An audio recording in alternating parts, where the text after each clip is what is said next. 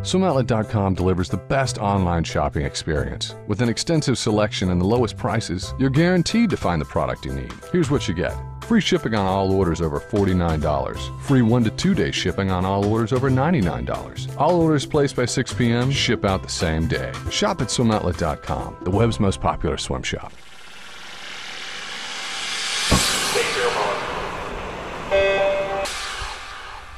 Welcome, everyone, to a special edition of the Morning Swim Show. We're your co hosts, Jeff Cummings and Tiffany Elias. The U.S. Olympic swimming trials begin Monday in Omaha, Nebraska, and Swimming World will be there to bring you extensive coverage from all eight days at the CenturyLink Center. We thought it would be great to get swimming fans ready for the 2012 trials with a look back at some of our video highlights from the 2008 meet. We've got some highlights from post race interviews with Michael Phelps, Elizabeth Beisel, Dara Torres, Gary Hall Jr., and many others. We also have clips from our recap shows in Omaha in 2008. We'll be bringing you more post session recaps this year with our race day coverage sponsored by swimoutlet.com and featuring Tiffany and myself, along with our senior writer John Lohn, who will be in the press box analyzing every race. Jeff and I will be in the media zone next week, getting first words from some of the best swimmers the sport has ever seen. But before that, we want you to sit back and enjoy a trip down memory lane from the 2008 U.S. Olympic trials.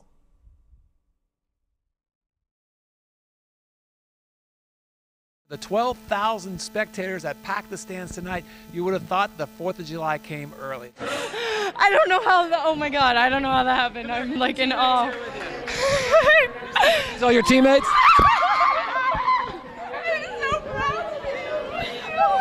Uh, I mean, our relay team has the potential to be the best four guys that have ever swam the 800 free relay. Um, you know, that's by far the fastest 200 free field I've ever been in, including Worlds, the Olympics. I don't think I'll remember any of this in 10 minutes. It's kind of a blur, but um, it's really exciting, and I'm just really thrilled. And um, couldn't ask to start the meet off any better.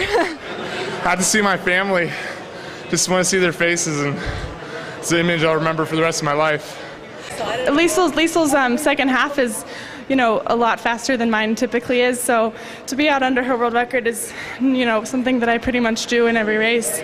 Um, but we'll see how it happens later this summer. And uh, breaking the world record was just a, uh, a factor of the, the, heat I was in. You know, I, I would take that just to win. So I'm very elated. That's amazing.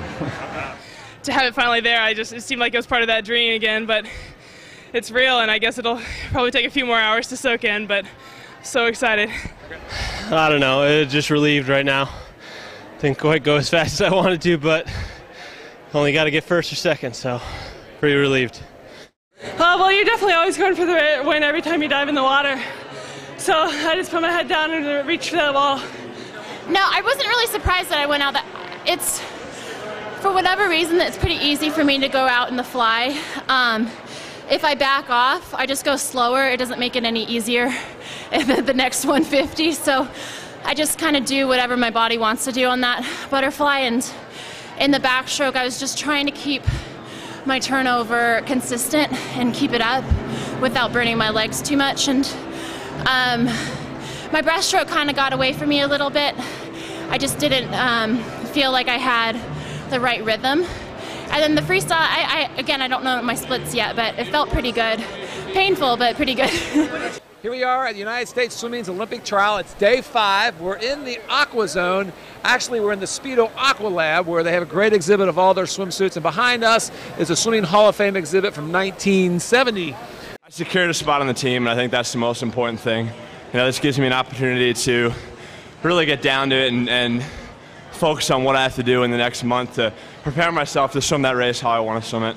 I mean, I'm not, I'm not completely disappointed. It's the second fastest time I've ever swam, but I would have liked to have been a little bit faster. Yeah, I'm having a blast, and I think um, I have a my attitude towards the trials is just I don't really care. I mean, I'm having a blast. I'm loving it, but I have things planned just in case I don't make the team, you know, what I want to do. And if I make the team, it's like an added bonus. But I'm not putting pressure on myself, you know, I'm just here to have fun and enjoy it and soak in the crowd and the energy. So whatever. Chasing a guy like Brendan every day is guaranteed to make you better, and uh, he's got one of the best mental attitudes towards swimming you can have. So just being around him, uh, you know, helps you out the mental aspect and, and uh, you know makes you tougher in, in, in that part of the sport. I think I've surpassed cloud 99, so I'm kind of on top of the mountain right now. I've never felt so elated about swimming, and that's saying something. Uh, I've been looking forward to this for a long time, and now I can rest. Uh, I feel elated, you know, just super excited. I told you guys it was going to take 47 to get on the team last night, and you know I came ready to go 47, and I was just happy I could do it.